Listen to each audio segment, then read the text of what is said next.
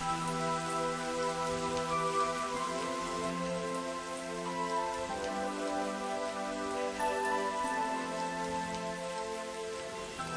pool or an aquarium with ornamental fish blended with aquatic plants and natural stones is eye catching always, providing a visual treat to the beholder. Though fish keeping is an age old practice dating back to Roman times, it gained more popularity only over the last few decades.